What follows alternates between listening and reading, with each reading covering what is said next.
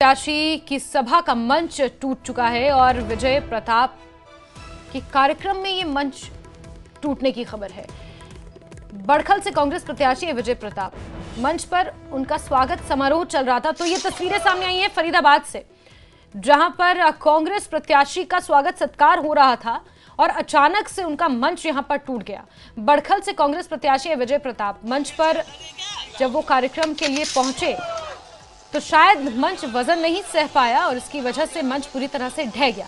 Stage पर ज़्यादा लोगों के चलते ये हादसा हुआ है।